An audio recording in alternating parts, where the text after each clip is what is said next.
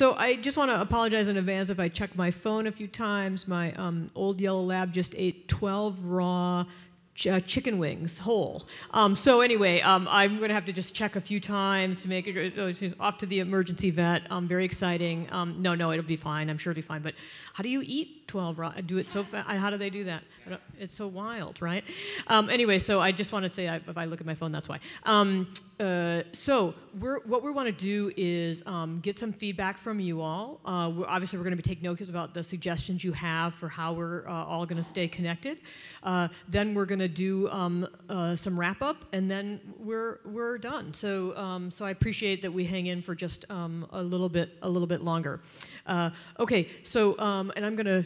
I had another microphone. Yes, I do it's sort of like active to be handing the mics. I, I, I like the energy of that. Um, so, uh, the um, uh, anybody, any group want to start with the? I think maybe each group should try to report back if you have something, and so maybe a, group A. Yeah, let's do let's do it. You're not A. Oh, I thought you were A. I was. Group A. Nate, Nate. Yeah? C's ready to go? Uh, yes, I guess I'm ready to go. Um, yeah, we had a great conversation, uh, really, really rich and full of ideas. Um, and there were prompt questions, but I don't have those memorized, so I'll just go. How can we work together? Um, and um, how, what would we do together that we couldn't do apart? Okay, so uh, you know we, we had the, the normal list of uh, you know conference calls, Google Hangouts, uh, TCG, of course. Um, we thought, well, why not find a way to get together and just have a party? Uh, to Nathan's point, like sometimes you just have to get together and have a good conversation. It doesn't have to be about the work. It's just about good conversation. Um, and uh, you know. Um, like last night, right at the restaurant. Such great energy in the room, and uh, and I'm sure I know we were talking about baseball, but uh, you know it, it was uh, it was a great it was a great night. Um, wanting to uh, see more sharing of scripts in production across the cohort. Um, organizations being willing to welcome uh, playwrights uh, from across the cohort to have readings in different theaters across the country um, so that uh, we can engage different demographics with the work. Um, would a co this was a very, a very specific question, but uh, can, can the cohort commit to reading at least one other playwright's work over the course of the uh, residency? Um, what are the avenues for playwrights to get the work out, and how can we as a cohort help those playwrights? I think we talked about that earlier. Um, it, it- was interesting. Uh, the playwrights were all in agreement uh, that um, there hasn't been any time really, uh, other than I think the the sharing of of the works in progress, uh, for them to talk about their work specifically, what their perspective on their work is. So, um, are there opportunities to either you know by these uh, Google Hangouts or TCG uh, conferences, uh, are there ways to have conversations with specific parameters around aesthetics, around process, around the audience we're trying to reach, so we can get to know each other's work better? Uh, or is it a speed dating approach? Uh, do we all share five minutes on that same perspective, uh, and then you know see where the conversation goes? Um, can artists in the cohort do intensive workshops where other artists, organizations participate and, and be, be welcomed into that individual artist's process? Um, doing good so far, guys? Yeah, okay. Uh, yeah, so uh, Luis had some great comments. Uh, we need to understand each other's artistry and perspective in order to know how to go deeper. So if if we are interested in each other's, we're only going to know if we're interested in each other's work if we know how we work, why we do the work, um, and not to get bogged down in the quorum. Right? Can, if only six folks can get together in a region, that might be good enough. Right? We don't all have to always be together uh, when these things happen. Um,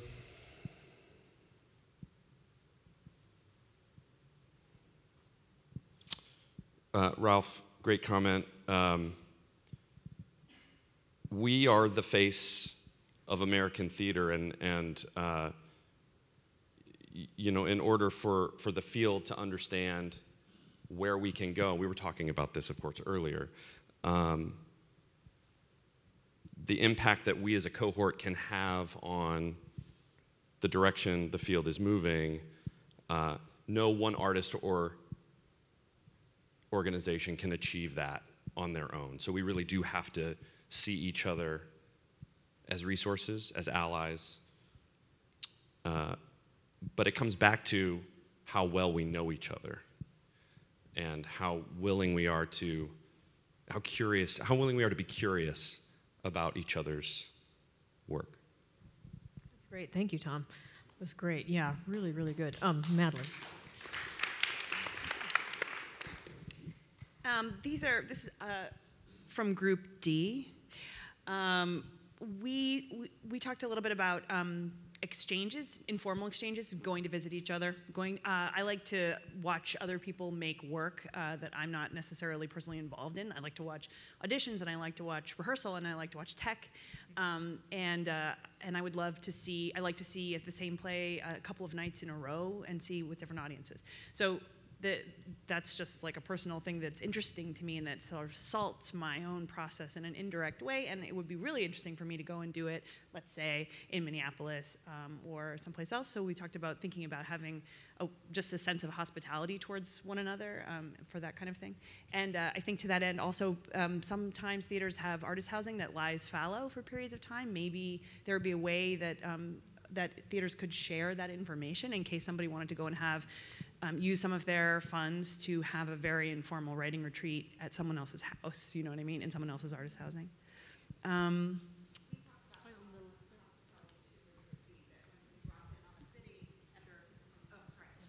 from the cohort there that there'd be an opportunity to like hey have a dinner or what do you what should i see tonight? Do you have something at your place or something else you know i should see? So that we build that even more informal sense of community that where those conversations of depth can happen that you guys were talking about as well. I mean, this is a very, this needn't be a formalized thing, but just sort of like a sense that we're, we're down with that kind of um, checking in with each other. Uh,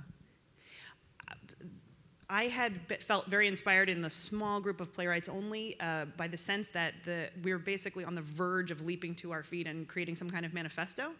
Um, and I wondered if it's not, speaking uh, to the question of what can we do together that we can't do alone, if, there, if, there, if it isn't worth thinking about some kind of semi-structured, maybe hour, hour and 15 minute thought experiment activity the next time we meet together in which we do some kind of utopia game or play some kind of um, manifesto game or um, which we could we could do some preliminary work before we get there. Kira was saying it's sometimes good to revise those things. Some people are more manifesto-y than others. Maybe it, need, it doesn't have to be uh, like compulsory, but um, it seemed like we were about to do that just organically anyway, and that um, thinking of the Kilroys' list as maybe a model of an, a recent uh, example of a, just a document, a piece of text that all the same has a catalytic effect on the practice, that there might be a way to create a sense of an ideal theater or an ideal theater ecology that we can sign on uh, and that and use in some way. And then we talked also. We, we also talked about maybe doing that twice, so doing it more once towards the beginning of the residency and then maybe again towards the ending of the cohort just to see what the space is in between the two. So. You know, I, I, I, I, think of the Latino Theater Commons as a kind of manifesto. So I feel like uh, it, it's not, you know, it's not uh, it, outside of the, the range of possibility, right, to do that. Um, yes. And we yeah, talked about ahead, a list. We talked about a list serve, like a very simple, like Yahoo group so that if people want to shout out a question or start a conversation, that can happen in a really, it doesn't have to be a special. Not on Facebook. Right, something that's public and not, and yet only within this group. Great, great, great, great. Uh, yes, great. Who else? Just thinking about um, what we can do as a group, I mean, that we couldn't do in our individual theaters. And so, one example that I was giving was that I've been doing a free ticket program where it's rush tickets for unsold seats. Every night, we all have a few unsold seats, right? So, I have a, a policy where anybody who comes with a student ID can see a show for free. But strangely, it's not gaining the traction that I thought, well, we'll fill the theater every night then with students who can't afford, but we still haven't been able to like succeed at that, even in my little theater. But I wonder if there's a way that there's it, more people are signing on for something like that. If that, because everyone has those seats, would we actually get a student movement kind of an interest in going to the work if it's at more places? Or, for example, Susan Bernfield from New Georges started these Friday afternoon matinees for professionals, and then they've been catching on so that at three or four o'clock in the afternoon on Friday, professionals are going to see a special matinee performance, and that's a way to create dialogue in the community about the work that New Georges is doing. And then a lot of other people have started to do them now so that more people are doing that on Friday afternoons, going to see work, and then talking about it after. So, two examples. Yeah, that's great. Um, other groups, other people. Yes, Aditi. Hi, we're groupie. Oh God, that was loud. Um, we, we were pretty concrete, so uh, and we followed the the script. How would you like to be connected as a group? We would love uh, a contact list, which I think is already something that's you know happens.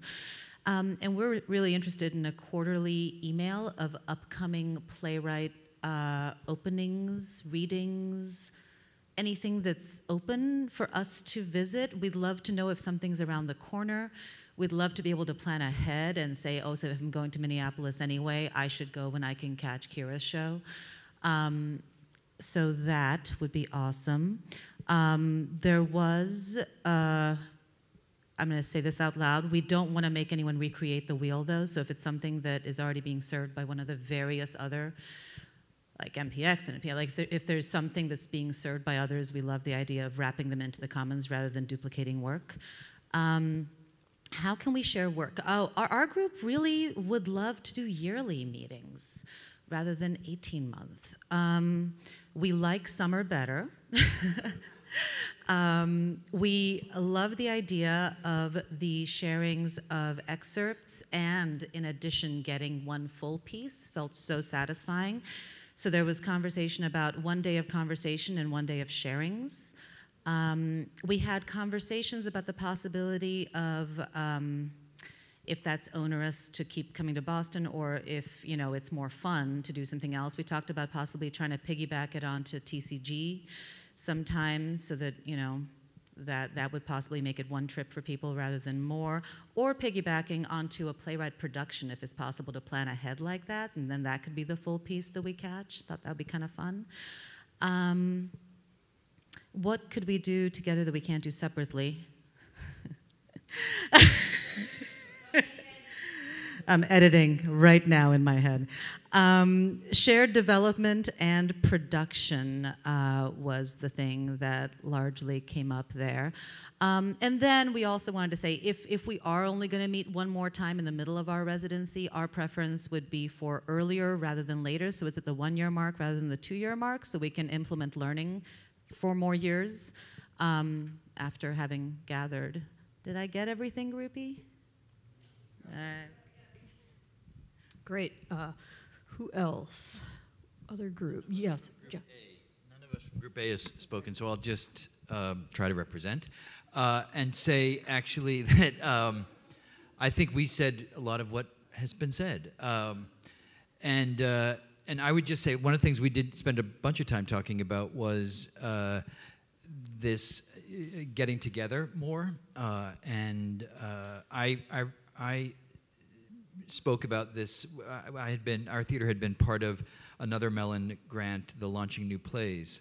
Um, in, in which we were a theater um, of, of four theaters that did a production of the same playwright's play around the country. And what was required, which I thought was going to be difficult and onerous, but it actually ended up being really fantastic and worth every minute of it, was that all of us had to go to and meet together um, in the other cities where the play was happening at the same time. And uh, that was, I, I, mean, we talked about wanting to do that, but I felt like, um, I, I, know myself, without the requirement or somebody organizing it in some way, it's not going to happen. And and maybe it, we said too, maybe if only eight of us can manage to do it, but like try to get as much of a that kind of thing happening because I felt like I learned so much more, not even just about the play and the aesthetics, but just other things uh, in the many conversations we had over the course of that time that we did that. Um, and then we also talked about uh, the fact that this is a kind of collective voice for the whole of the American theater, and that this remaking of models of how the theater works is something that we might be able to have larger impact on. We don't know exactly how, but um, and and just thinking about what that means, this remaking of the model and how uh, to return to the artist at the center of the institution in some ways, and how how other artists might be that, and how that could and should work in other ways with, uh, like what Chris had brought up before about. Um, making residencies out of uh, with other artists uh, at the center of the theater. So, great. I think that's it. Group A and more. Maybe. Great. Um, Susan, you have anything over there? Just I always want to make sure you're Anything? I'm good. You're good. Thank you. All right, great. Uh, just you know, don't want to be lost on Skype. Um, uh, other other report out.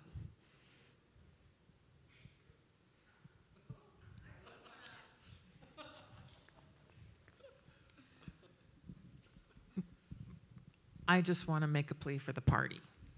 And even if it's going to see a show and having a party, but I'm all about the party. I am, I am stunned. I am stunned. Um, the um, Susan.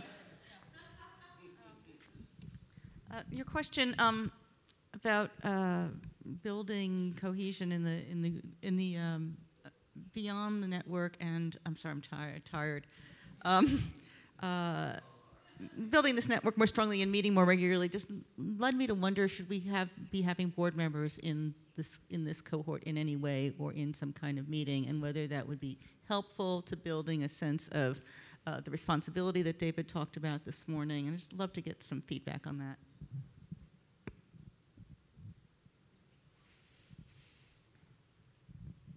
Um, so are you saying board members from the theaters our representative theaters in the meetings here? I, well, I couldn't speak for everyone. I, I think that that would be really helpful.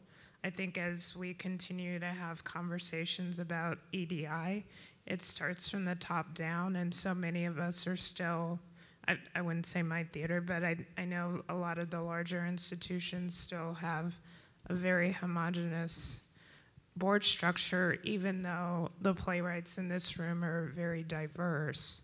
And so I think a lot of the conversations that we've started here, I think it would be most helpful for board members to at least not being part of the whole conversation, but when it's important to come into the room and, and participate as well. That, that's my thought, and other playwrights might have something else to say. But. I just I don't know if you're if you're linking to what I was saying, but I think actually that would have been really great in this in this launching new plays thing where we all traveled around to the theater. It would have been fantastic if the there would have been a place for the board the board folks to interact with and learn from what all this meant. That would have I feel like my, I'm just imagining my board members in this room right now and not thinking that would be so great, right? Just this, but um, but going the other way actually, um, and coming to them, and that that that could be really productive actually. If, if, if we, I'm, I'm now obsessed with what I want to have happen, which is that we all travel around the country and see each other's work together as a group and then do things there together as a group. One of the great things I would love to be doing there is uh, having those board members meet us and understand what we're doing together. Uh, I would want my board to do that. Um, yeah. Yeah. Um, and structure how that happens from our point of view, because, yeah.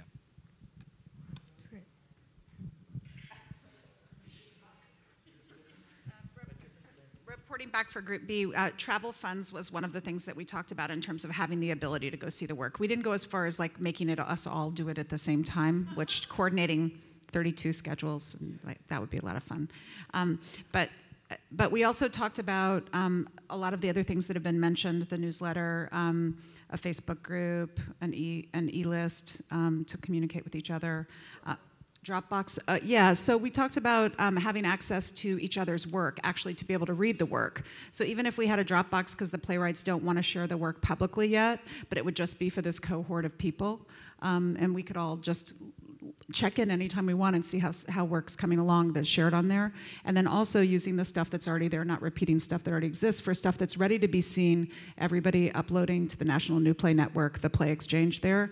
And it could be tagged um, like the Mellon Group, and then you could easily find the 18 writers that way and access the work that they want public. So those are, what else did we talk about, guys?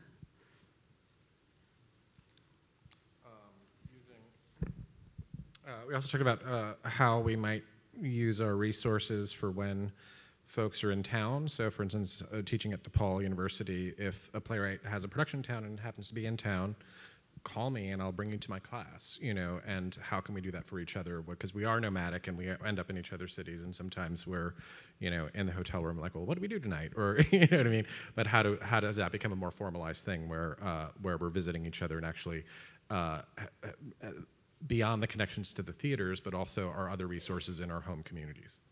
And the integration of technology, um, just different ways that people are integrating technology and it, within the shows themselves, but then also is there ways that that creates connectivity amongst us as a cohort? That's great.